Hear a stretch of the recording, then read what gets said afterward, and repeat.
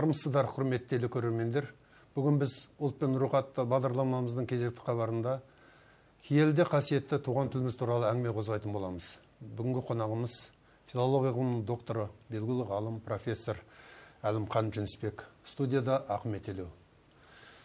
Сәрсенбінің сәтінде студиямызға қош келдіңіз аға. Келдік иә. Көңіл күйіңіз қалай? Құдайға шүкір жақсы бәрі есіңізде шығар. Осыдан үш жыл бұрын біз қапшағай қаласында сіздің әріптесіңіз ғарифолла анес екеуіңізді шақырып осы латын әліпбиіне көшу туралы әңгіме қозғаған болатынбыз. Сонда қашан көшеміз қалай көшеміз көшу керек пе жоқ па деген әңгіме қозғалған болатын. Бірақ қазір әңгіме басқа әуен басқа. Шәкәрім қажы айтпақшы бұл ән бұрынғы әннен өзгерек. Өзгерек. Бүгін басқаша жағдай. Енді сол жағдай туралы қазір қай жерде тұрмыз? Қай кезеңде тұрмыз? Қалай тұрмыз? Сол туралы айтып беріңізші қысқаша. Енді ол одан үш жыл бұрын өзі белгісіз еді ғой. Өтеміз бе өтпейміз бе қашан өтеміз деген сықылды. Енді өттік. Бүгінгі күннің басты табысы нәтижесі біз латын әліпбиіне көштік.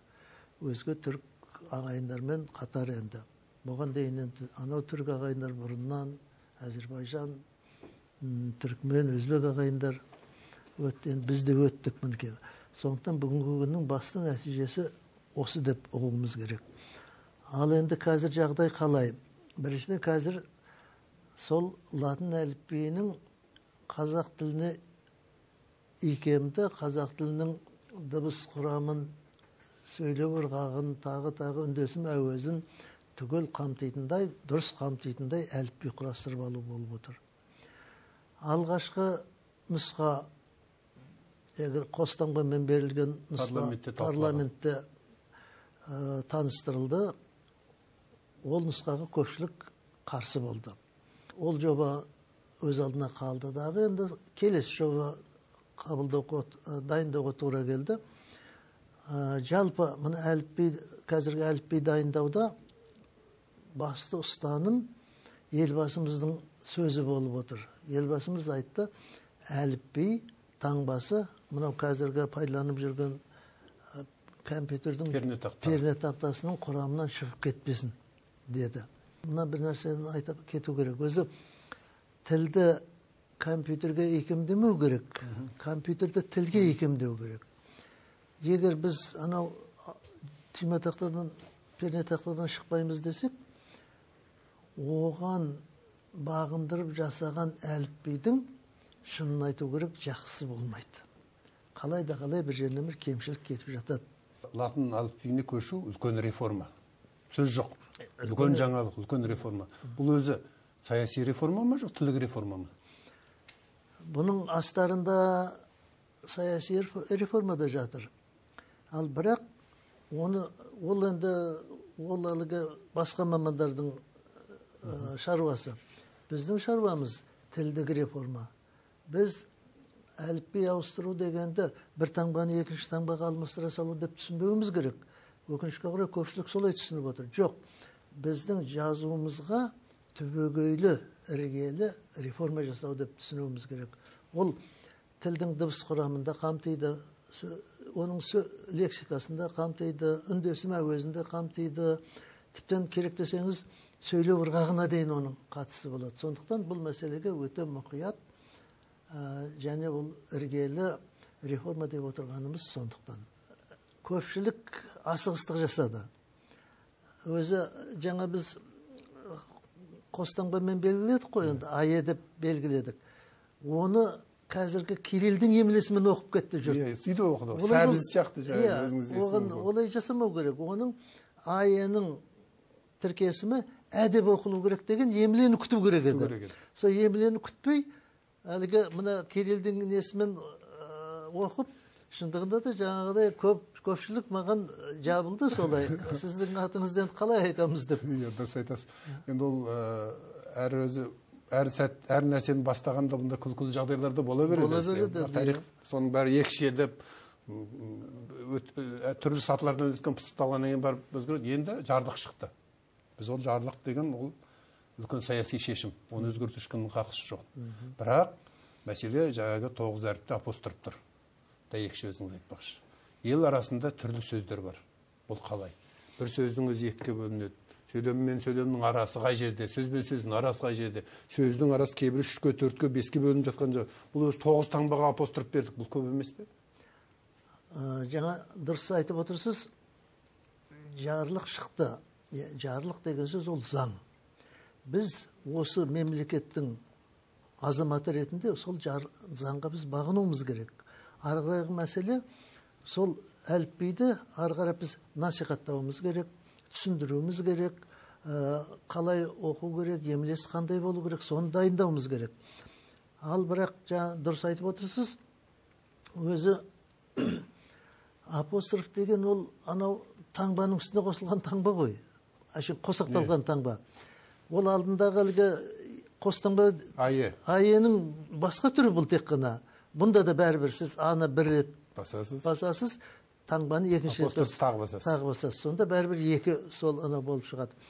Апострофтың енді ыңғайсыз жағдайы ол тек қана тілдік тұрғыдан болып отырған жоқ. Мына информатика мамандары компьютер мамандары да айтып отыр. Бұл түрінде ана компьютермен оны баптауға болмайды. Ол компьютер тыңдамайды оны компьютердің заңдылығына көнбейді деп. Ол өз алдына содан кейін жазу іртік іртік болып кетеді.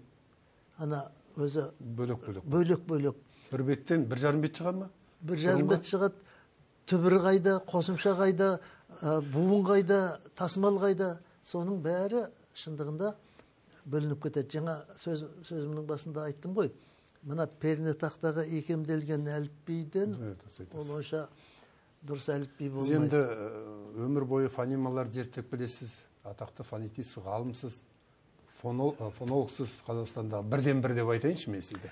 Иә бұл енді дыбыс жүйесі ғой. Бұл сіздің тікелей наныңыз өмір бойы келе жатқан наныңыз. Иә.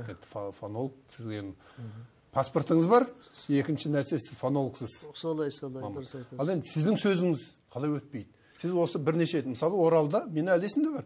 2007 жылы оралда сіз болдыңыз баяндама жасадыңыз оған жаңағы өзбекстан қатысты әзербайжан қатысты түркменстан қатысты олар баяндама жасады сіз айттыңыз олар жіберген кемшіліктерді біз кем жібермеуіміз керек как фонолог ғылым ретінде көптеген нәрсені айттыңыз түрк түрк алфавитін қолдануымыз керек пе әзербайжанның кейбір нелерін алуымыз керек пе өзбекстанның қателіктерін қайталауымыз керек неге сондай ұзақ уақыт сынал, сыналғаннан кейін әңгіме айтылғаннан кейін жазылғаннан кейін осындай қателіктерге тағы жол беріп отырмыз? Енді ә, ба- өзі мынадан бастауымыз керек. Қазақ тілінің төл дыбыстары қанша? Бірінші соның басын ашып алу керек. Қазақ тілінде бар болғаны 28 дыбыс бар. Біз енді қырық екімен басымызды қатырып келдік қой енді ол. Ол өз алдына әңгіме енді ке- өткен әңгіме. 28 дыбысымыз бар. Сол 28 дыбысқа біз әрқайсысына тән жеке жеке таңба қабылдап алуымыз керек еді біз соны соның үлгісін енді мен жасаған едім сіз ұлттық алфавит пе ұлттық әліппе деп жасап жүрсіз соны ұлттық әліпби ұлттық әліпби деп ат қойдым мен оған және оныменен ана абай жолынан басқа жерлерден мәтіндер келтірдік отырған көпшілік бірденен оқып кете береді ары қарай өйткені өйткені неге ұлттық әліпби ұлттың санасына жақын мына болмысына жақын танымына жақын дыбыс құрамына жақын. Сондықтан да оны ә, қиналмай тез оқып кете береді. Мұның қабылданбай қалған себебі ол мына пернетақтаға жоқ. сыймайды. Сыймайды түбі жоқ. Үш төрт таңбаға арнайы бағдарлама жасауға тура келеді анаған енгізуге тура келеді. Ана ана пернетақтадан шықпау керек дегеннің басты несі не ма- мақсаты? Ол ешқандай шығынсыз аламыз отырамыз да пайдаланып кете береміз. Америкаға барсаң сол сол жердің перне тақтасымен жұмыс істей бересің жұмыс істей бересің дегенде. Арқалап ал жүрмейміз бірақ оның кемшілігі біздің ұлттық дыбыстарымызға нұқсан келеді. Ә, ұлттық сөзіміздің үндесім әуе- біздің тіліміз үндесім әуез ғой? Сингармонизм деп айтады. Иә. соған нұқсан келеді. Морфологиялық құрылымына тасымал тасымалға дейін зиян келтіреді. Тіпті сөйлеу ырғағына дейін зиян келтіреді. Сондықтан да ол жаңағы ұлттық әліпбидің қабылданбай қалған жағы тек жаңағы анау пернетақтаға сыймай қалғандықтан. Жалпы кириллица енді түрлі пікір бар ғой. Біздің көп тілдік заңдылықтарын бұзғаны рас қой. Ол, ол талас жоқ. Енді латын әліпби біздің тіліміздің бағын аша ма ашпай ма? Егер баптап өте алсақ бағын ашады. Қайтадан анау қазір жасыратын ешнәрсе жоқ. Мына кириллдің үлгісіменен әліпби жасап ұсынып жатқандар бар. Мына қазіргі апостроф Иә. әліпби бар ғой. Соның өзі мына кириллдің үлгісінен шыға алмай қалды ғой. Ішінде тіл бұзар нелері бар енді. Егер сол күйінше өтетін болсақ онда ол ә, кириллден көрген зиянымызды қайталайтын боламыз. Енді латынға көшкенде мынау дыбыстардың транскрипциясы қалай болады? Біз ертең латынға көшкенде баяғы орыс ережелерін тағы бұрынғы орысша тәрбиеленген ғалымдарымыз тағы тықпалап жүрмей ме?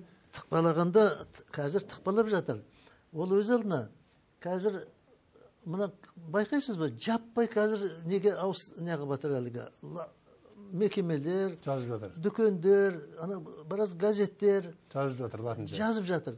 А бірақ ана оның өз- біз дайындайтын емле ережесін күтпей жазып жатыр. Сондықтан немен жазып жатыр жаңағы кириллдің ереме- ережесімен жазып жатыр ол болмайды ол онда ол- тілдік жүйе тағы бұзылады ғой тағы бұзылады сіз енді ғалым адамсыз егер сіздің сөзіңіз дәруменге айналмаса дәрі болмаса елге тұтқа болмаса онда кімнің сөзі тұтқа болады мен түсінбеймін егер ертең ережені жазғанда фонология ғылымына сүйеніп жазуымыз керек ең бастысы дыбыста тұр ғой мәселе парламентке апарылды ғой әлгі әліпби сонда біздің институттың тарапынан екі жоба апарғанбыз біреуі жаңағы пернетақтаға икемделген екіншісі ұлттық жоба. Ә, енді ол жақтағы билікте отырған адамдар ана ұлттық жобаны қабылдамай мына пернетақтаға икемделген жобаны қабылдады. Енді бұны біз сынақтан өткізуіміз керек қой бірнеше жыл. Екі жыл ма? Оқу ордасында бірнеше бөліп қойып соны сынақтан өткізіп бұның қалай тәжірибесі? Егер дұрыс болмаса халыққа икемсіз болса дыбыстық жүйемізді бұзатын болса бұны басқаша мысалы өзбектер де бірнеше рет енгізіп жатыр ғой. Алфавиттерін өзгерту указбен мысалы жарлықты жарлықпен қайтадан бұзып өзгерте береді үш төрт рет Иә, өтті. өзгертіп жатыр. Солай жасамаймыз ба? Неге асығып тұрмыз? Қазір ә, ә, білім министрлігі ғылым министрлігінің тапсырмасыменен ә, осы әліпби жоғарғы оқу орындарында мектептің жоғарғы сыныптарында мекемелерде сынақтан бір сынақтан өтті. Қандай қорытынды болды? Қорытынды ә, орташа. орташа да емес нашар өте мен сізге айтайын мынау қазір әліпби қағаз бетінде тұрғанда оп оңай сықылды әдемі көрініп Иә, жеке жеке тұрғанда. Жеке жеке тұрғанда. Маржандай. Ертең мектепке барады ғой енді. Оқулық жазылады әдістеме мұғалім баланы оқыта бастайды. Бұның қиындығы сол кезде барып көрінеді. Мұғалім балаға үйрете алмай әлек болады. Бала үйрене алмай шаршайды. Үйге келгенде ата анасы баласына көмектесе алмай тағы да қиналады. Міне әліпбидің қа- ә, қабылдамау деген оған қарсылық білдіру деген міне сол кезде басталады. Қазір бір жарым ғана адамдар айтып жатыр. ол ешкімнің құлағы ешкім оның құлағына іліп жатқан жоқ. Өйткені біз қолданған мысалы біз киімді алайық. Киімді үстімізге киіп кимей тұрып біз оның қандай екенін білмейміз ғой. Иә. Сол сияқты әдемі үлі тұр әдемі керемет. Керемет иә қазір солай тұр. Алфавит керемет тұр Иә, әліпби керемет. ертең киіп алсақ масқара мынау жеңі шолақ екен мынау жағасы басқаша екен деп шыға келеміз ғой. Иә сондықтан да ә, нағыз әңгіме талқылаудың көкесі алда көкесі алда.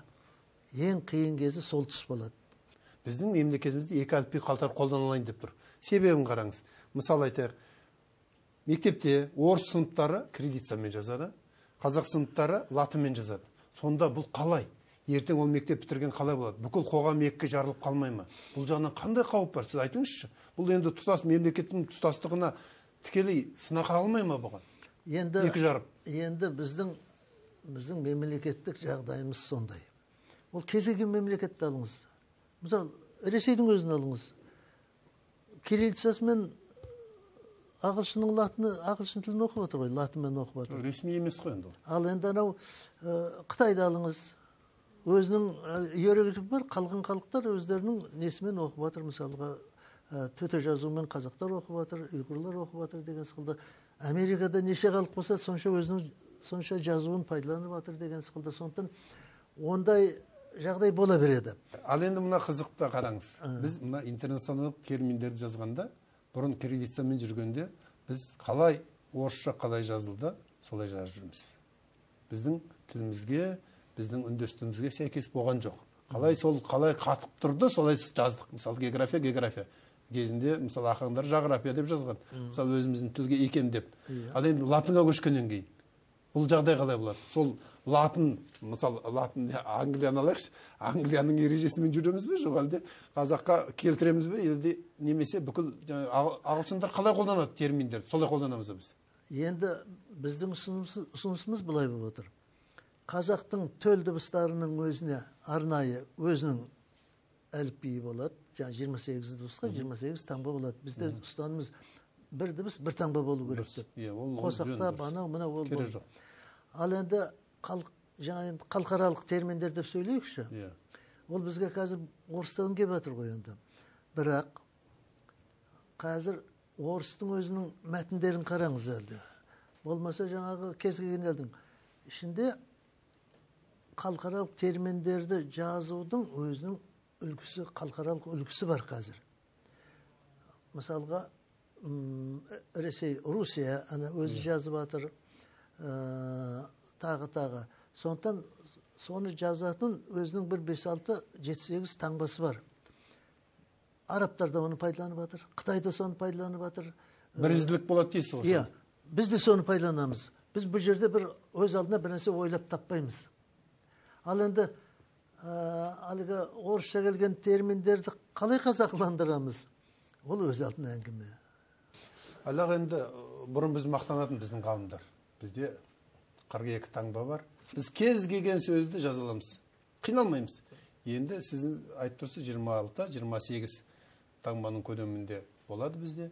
Енді басқа көп сөз- сөздерді жазуда сол шағын әріптердің қауқары келе ме келмей қалмай ма? 28 деп отырғанымыз ол қазақтың төл сөздеріне Иә. өзіміздің біз пернетақта жиырма алты. біз алдыменен өзіміздің төл сөздеріміздің қамын ойлауымыз керек. Соны оның әліпбиі қандай болады емлесі қандай болады қалай жазамыз ол айтылымға қандай әсер содан кейін барып оның сыртында жаңа айттым ғой жеті сегіз тағы ана әліпбидің тізімінде тұрмайды ол. Жеке тұрады. Арнайы емле ережемен реттеледі. Жаңағы сіз айтып отырған көптеген жаңағы халықаралық термин термин атаулар сол үлгімен жазылып енді біз кредитциядан құтылдық деп айт құтылдық. Бұл бір жағы отарсыздану өзіңіз білесіз. Отарсыздану, Иә, енді ар жағы жағында сол жатыр, саясат жатыр ар жағында. Енді біз ағылшынның ықпалына ағылшынның қақпанына түсіп қалмаймыз ба? Жоқ енді біз біріншіден мынау орыстың ықпалында болғандай ағылшынның біз емлесін алмаймыз. Ағылшын емлесі ол ағылшын тілі үшін таңба. Жалпы латын таңбасы деген ол ағылшын таңбасы емес ол. Латын таңбасы деген өз алдына тарихтан келе жатқан дүние өз алдына. Біз соны аламыз дағы өзіміздің тілімізге икемдеп емле әліпбиін құрастырып емле ережесін сақтаймыз. Сондықтан ол ағылшынның бізге тікелей ықпалы болмайды. Бұл реформа бұл тілдік реформа ғана емес тұтас сананың реформасы ғой. Сананың мәселе сол. соған біздің халық рухымыздың өзгеруіне санамыз халқымыз дайын ба осы бүгін? Әлі айтыңызшы. Қоғам латын әліпбиіне қарсы болған жоқ. Рас ол рас. Бір нәрсе тағы мазалайды мына көрнекілік көрнекі үгіт көшедегі маңдайшалар. Бұрын біз енді кредитциямен жазғанда екі рет жаздық. Қазақшасын бөлек орысшасын бөлек. Екі шығын. Маңдайшаның бәрі жазу жазу. Толып тұр. Бірінші қазақшасы бірінші орысшасы енді латынға көшкеннен кейін біз таза латынша қазақ тілінде латын алфавитімен ғана жазамыз ба? Жоқ әлде? Мына орыс мектебі бар ғой өзі сақтау тағы да оларды кредитциямен жазып қоямыз ба?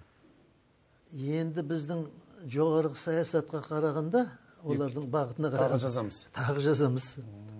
Тұрады үстіне біз латын менен қазақша жазамыз астында ә, кириллицамен орысша. Тұрады өйткені біздің қазіргі саясат сол болып отыр ғой. Ол саясат қашан өзгереді? Өзгере ме өзгермей ме? Сондықтан оған енді ә, бір жақты жауап беру қиын. Енді уақытымыз аяқталып келе жатыр сондықтан сізге қысқаша қысқанда бір екі сұрақ бергім болып отыр. Мынау шетелдегі қандастарымыз. Мысалы қытайдағы қандастарымыз баяғы төте жазумен жазып жатыр. Европадағы қандастарымыз латынмен жазып жатыр. Біз кириллицамен жазып жатырмыз қазір. Осы әліпби қабылданғаннан кейін біз мына түркітектес халықтардың көбімен қазір ұқсаспаймыз төл дыбыстарымыз ұқсамайды. Олардан дәйекшілер біреуінің астында біреу үстінде өзіңіз білесіз біреу қос нүктемен жазып жатыр төбесіне. Сіз алғашында ұсынғанда өзіңіз қос нүктемен ұсынғансыз әлі есімде бар оралда жүргенде ол сіз оны ұсынған соны қалай енді тағы бөлектеніп қалмаймыз ба ағайындардан? егер мынандай апостроф та жаңағы диаграфтармен қалатын болсақ бөлектеніп қаламыз. Мына өзбектер бөлектеніп қалды қазір. Егер біз анау өзі осыдан бес алты жыл бұрын бес түркі мемлекеттерінің үлкен ғалымдары біздің академик әбдуәли қайдари бар анау өмірзақ айтбаев бар бәрі жиналып э, түрік тілдерінің ортақ 34 таңбаны ұсынған болатын. Сондағы мақсат былай болатын. Егер түркі жұрты латын әліпбиіне көшетін болса таңбаны соның ішінен алсын. Сонда бір біріміздің жазуымызды оқи беретін боламыз. Сө- сөзін түсінбеуіміз мүмкін енді. Мысалы біз бір дейміз қырғыздар бір деуі мүмкін. А бірақ ана жазудың тұрқы ортақ болады. сондықтан біздің ұлттық жазу дегендегі мақсатымыз содан шығып кетпеу шығып кетпеу еді. Егер сондай ұлттық тұрғыдан келетін болсақ ә, біз ешқандай бөлектеніп қалмаймыз керісінше бірігеміз өзге түркі жұрттарымен.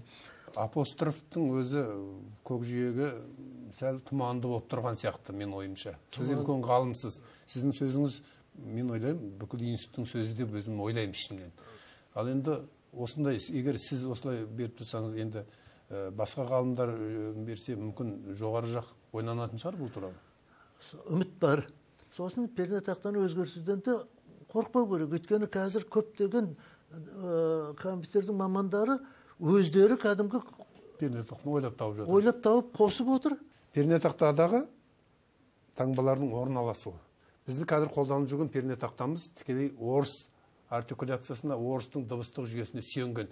Оның көп қолданылатын дыбыстары ортасына орналасқан. Біздікі анау жақ шетте? Басқан сайын ат сияқты секіріп секіріп басып отырамыз. Бұл жерде екі шешім бар. Бірінші біз пернетақтаның үлгісін ұсынып отырмыз. Әріптеріміздің ең жиі келетіні сирек келетінінің есебі қазір дайын тұр.